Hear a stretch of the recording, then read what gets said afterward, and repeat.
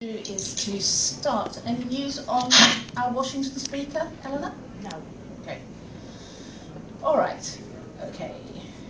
I'm doing technical here. If poke for only one thing, waving a braille computer around myself. So here we go. Okay. This session is called Multiple Identity eh, Identities, Ordinary Lives. Disabled women's rights are human rights. Now, is this the one you're all expecting? Uh, nodding's not an option, please. Thank you very much. Fantastic. Well, we're going to talk about the challenges, and I will say the fabulousness of being disabled feminist women. Okay. So, we're going to explore activism as feminists and disabled women, what unites us with non disabled feminists, and what divides us. Um, we're going to talk a bit about our place both as disabled and feminists and how can we work together for positive change. So I'm going to briefly introduce the panel. Um, on Skype we have, um, oh, sorry, I just mislaid your name, sorry. Nidhi. Nidhi, okay, I'll introduce you properly later. Uh, on the platform here with me we have Francis, Becca and Becky. Okay. Other way round. Oh, well, yes. Francis, Becky, and Becca, in that order, left to right, for those of you who want to know. Or, of course, it's your right to left. Oh, I think I might go home. Right, okay, so there we go. That's, that's what we're doing today. But before we start, I'd like to say a big thank you to Eleanor Lisney, who has put this together and has been the mistress mind behind the shaping of this, the dragging out of various folks from all over the world to come and contribute and this is her vision of, of um, a panel. And I would like to hand over to her to say a few words before we begin. Yeah. Oh,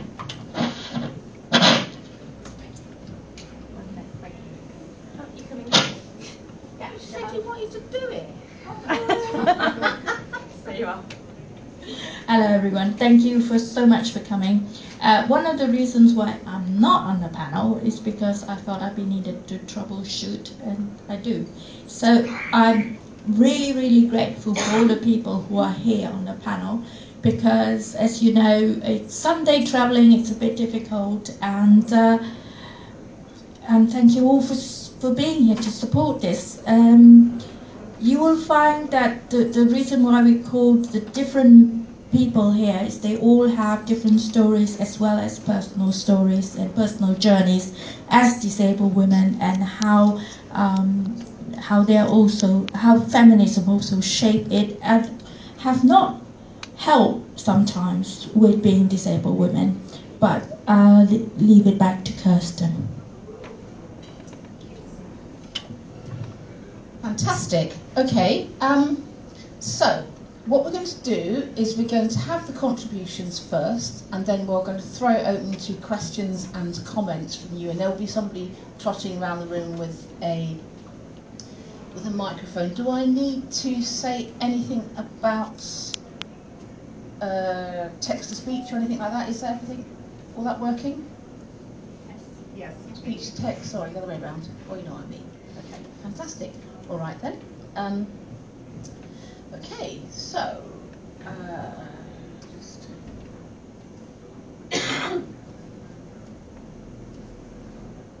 so first, I'd like to um, to play the video from Nidhi Goyal from India. She's in Mumbai. She's down with us on Skype at the moment, but we thought we'd play the video and then she can listen in to comments and the other um, and the other contributions later. So, Eleanor, would you like to wave your data screen? Uh, it's. Eleanor, can we just check which video, which which one it's called? Uh, it's called FIL something. Has it got the name? Feminist London Conference and movie. Yes. Yep. Which one is that? Is that right? Okay.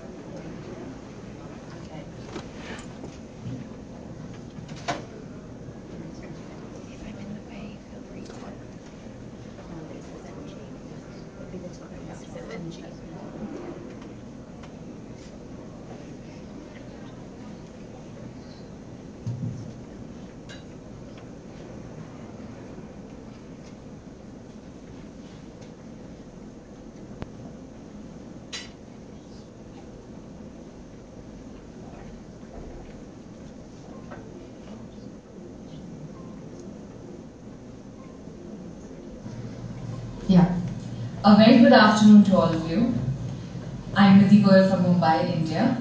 First of all, I'd like to thank, well, well, I would like to start by thanking the conference organizers and Sisters of Frida, and for all of you um, for giving me this opportunity to speak at this conference.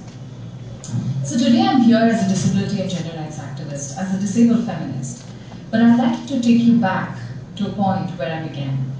I began with a transition uh, from a non-disabled teenager to into someone who acquired an irreversible incurable eye disorder, which would ultimately render her blind.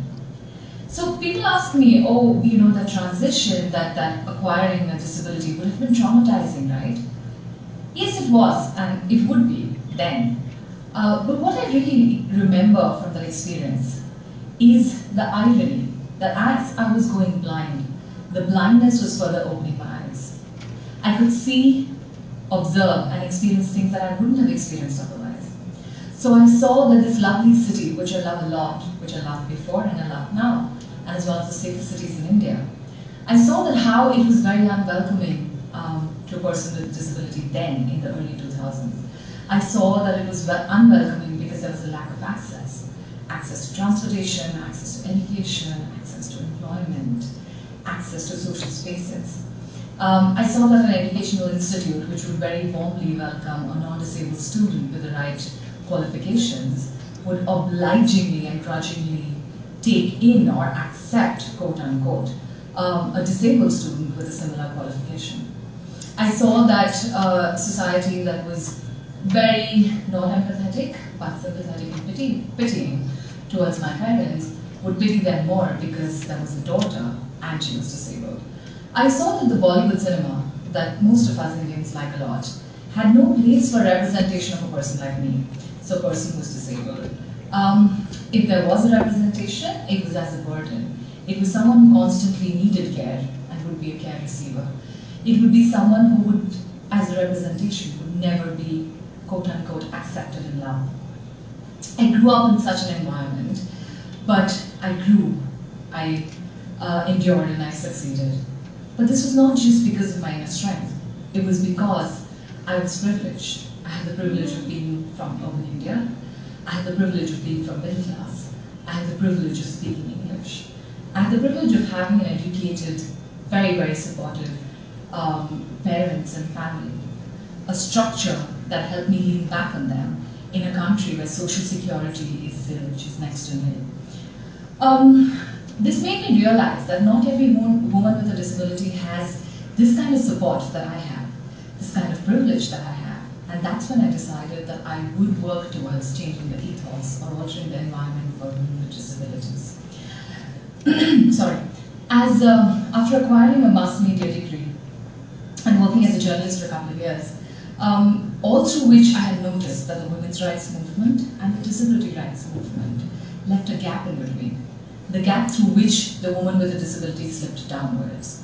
Um, no one heard her, and that's when I decided that I would work with mainstream women's rights organizations and work with them on issues of women with disabilities. I started my work with Point of View um, and their partners, CREA, who pioneered an online initiative called sexualityandisability.org. By then, there were NGOs, DPOs, organizations, government, working on rehabilitation, working on access, education, employment, etc., etc. But none were really giving a thought about gender components of disabilities. None were obviously talking about sexual and reproductive health and rights.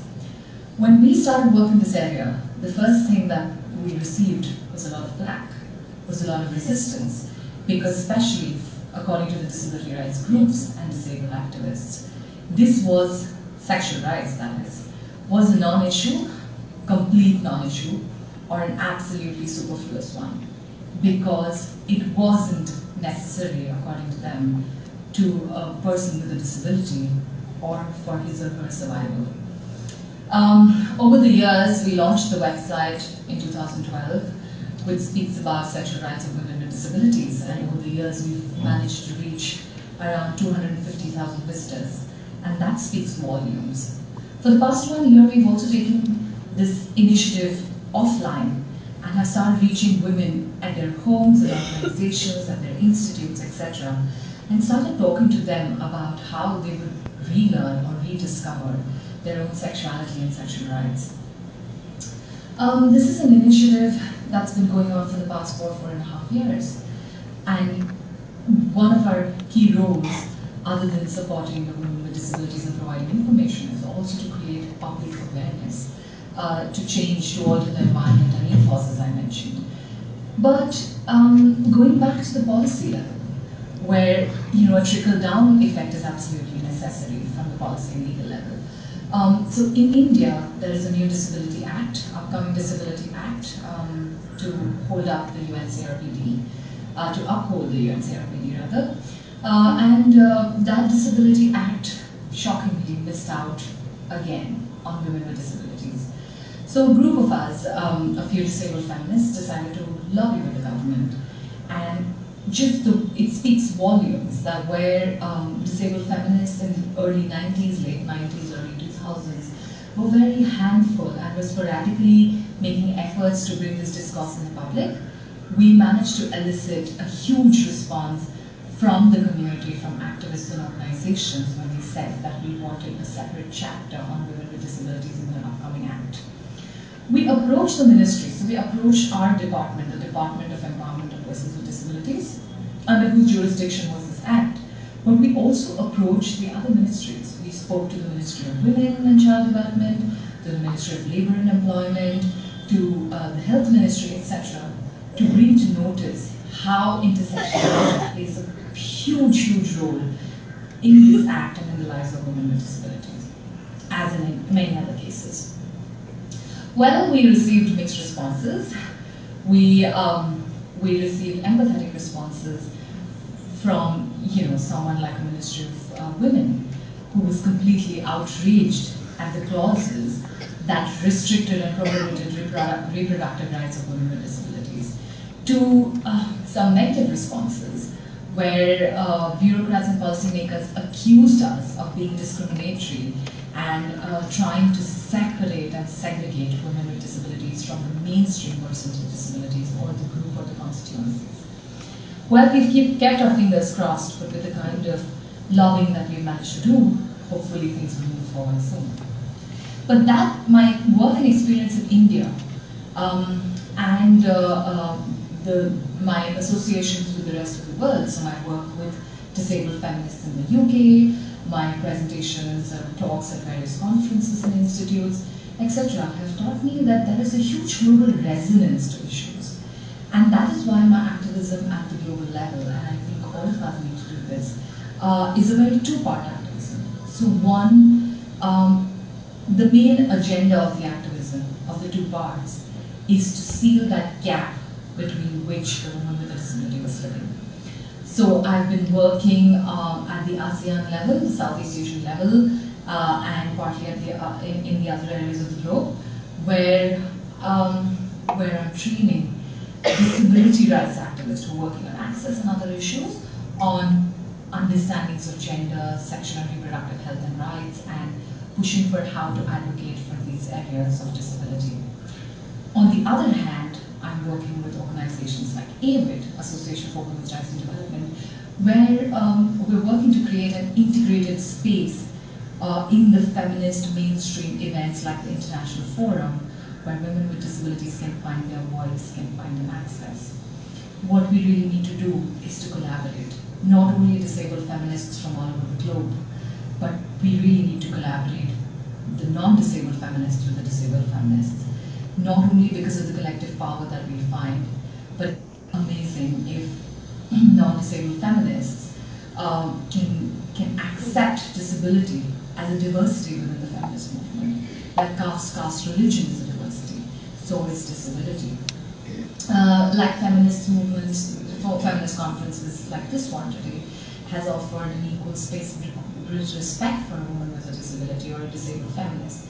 Similarly, in our movements, found space, it also helps, and this is through experience, it also helps push the identity, the dignity, and respect for a woman with a disability within the disability rights space. So our one point motto should be integration, collaboration, and working together. With this, I come to the end of my talk. Thank you very much.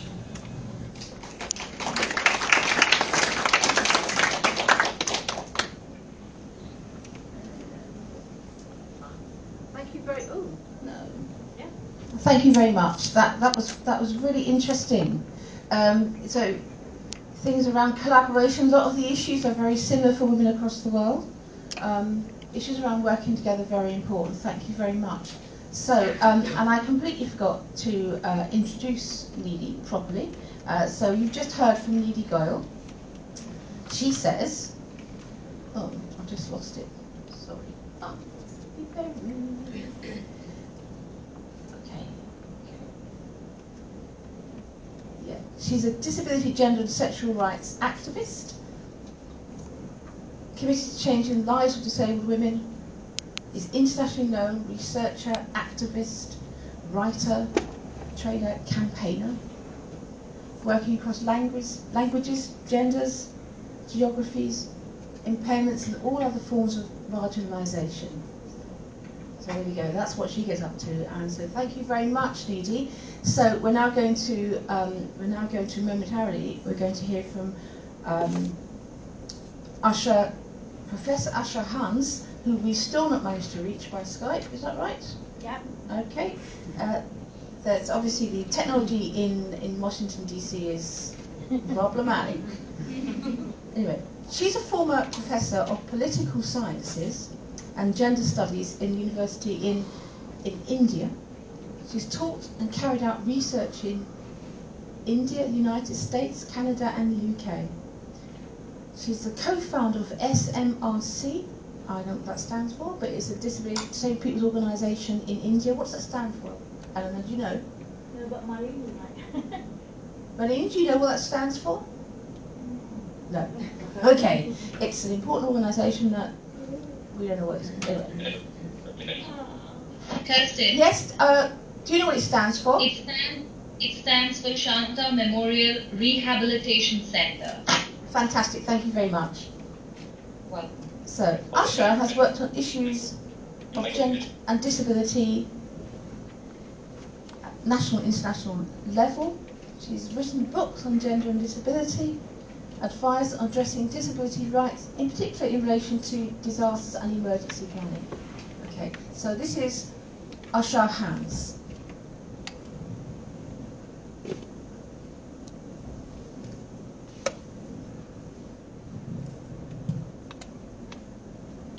Hi everyone, it's good to be part of your great meeting.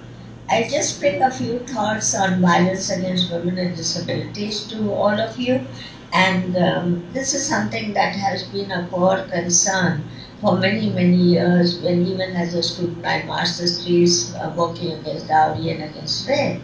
But it was in 2003 when I wrote the, my first book on disability, gender disability and identity that one of the articles written by an uh, Australian woman, Michelle LaFontaine, really, really highlighted something that had been part of the disability movement, but still there was uh, very little understanding on it in terms of academic writings. And I think Michelle brought forward not only the question of perfect bodies linked to the market, which had been part of feminist thought, but also perfect bodies linked to sexuality and asexuality.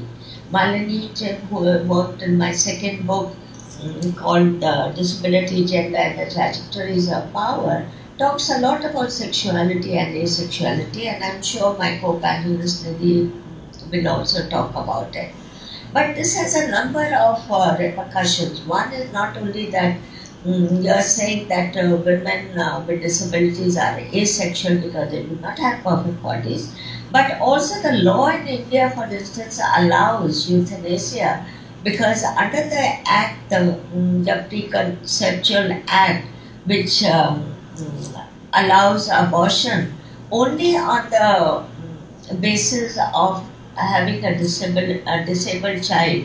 Now, this is something mm, you know that legally that is allowed and it is a type of euthanasia and only of disabled children now this is something that um, is very difficult for women to, to understand or to accept.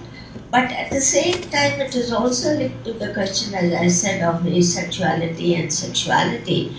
Mm. And because if you are have a perfect body, then you are sexual. If you are not, then asexual. But then the, the question arises that if you are asexual, then why is there so much of rape of young women with uh, disabilities? The data that we have is only anecdotal data, but it shows a very, very high disregard for women's body who are, especially children, who are disabled. And this has led to many, many parents uh, deciding to sterilize their young girls. So this forced sterilization is again another human rights uh, abuse. So you don't only have forced uh, abortion, you have forced sterilization. And because you are in the search for a perfect body, and also in the recent years, it has also mm, be highlighted in many, many uh, of your campaigns, and that has been part of my second book on psychosocial disability, linking it to the perfect mind. So you not only need perfect bodies, you also need perfect minds. Otherwise, you do not fit into the normal category. Now, this has been something that has led to a number of women being forcefully detained in institutions. And uh, Shantha Rao Barriga, who came to India and did a wonderful study for Human Rights Watch um, on uh, forced detention, on how women are ill-treated within the, the institutions that are there. It is where Shanta is concerned, uh, she not only highlighted this issue, but she also was part of the team responsible mm, for bringing about a network which has been working so uh, broadly on and deeply on the issues of violence against women. And that is the International Network of Women with Disabilities, which is today one of the leading international uh, networks which works on violence against women. Uh, and uh, Maya uh, Kowari, who has been uh, very, very ably leading this uh, organization, has uh, uh, highlighted uh, in all the network discussions that we've had on legal capacity, um, my own discussions at Bhargavi Davar with Tina Minkowitz shows how women with disabilities have, if they have a psychosocial disability, do not have legal capacity. To overcome all this, in the last uh, to overcome all this in the last uh, one year, uh, I have been uh, joined by other women with disabilities on uh, a campaign that we have launched in India called Azadi Ki Udan in Hindi, which means flight to freedom and we are fighting against uh, these three forced abortion, forced sterilization, and forced detention to which women with disabilities are exposed. And I invite you during the 16 days of violence against women, we'll be um, using the Twitter, so please, please do join us.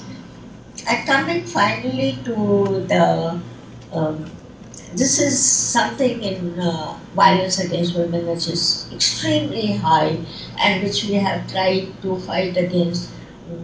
Uh, I uh, helped uh, to establish the network of women with disabilities in India, which uh, did the alternate report to, on India and put it forward to the CEDAW committee, and which showed that extraordinary amount of violence that women with disabilities are faced with is not only uh, psychological or it is not only uh, physical or sexual, but it is also economic, which legal capacity shows us. Now, for in taking this forward uh, has been also a part of a personal journey because when I was 10 years old, I remember an aunt of mine died Mm, we used to play together. I was about 10 and she was 17. And when she died, we didn't know what it was. Till many, many years later, when again another death took place and another death in the family, that it was a bipolar disorder, which is because of high depression, which leads to a large amount of uh, people committing suicide. My young niece at the moment has that. So it has been part of our family, part of what uh, we live with, and um, it is a disability which is not recognized. It is a disability which is uh, um, invisible. It is a disability which uh, I think the world does not know and also ignores to a large extent. So, for those who have this disability, violence is an everyday affair. And uh, I thank you for allowing me to, uh, giving me the space to talk to you. And uh, I hope that the Skype comes through and then we can meet and talk a little bit about if you want any other uh, issues to be discussed or some questions that you may have. Thank you so much.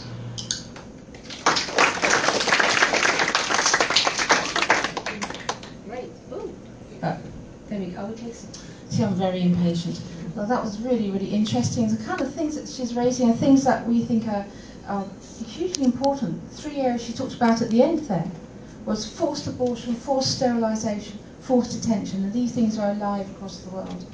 It's always shocking to think about how disabled young people are abused, sexually abused, but it is, as she sh- shows from the work that she's done, very common and very common across the world, in fact. So, okay, that's lovely. So we now turn to our panel in the room, and I've got my speakers all in the wrong order.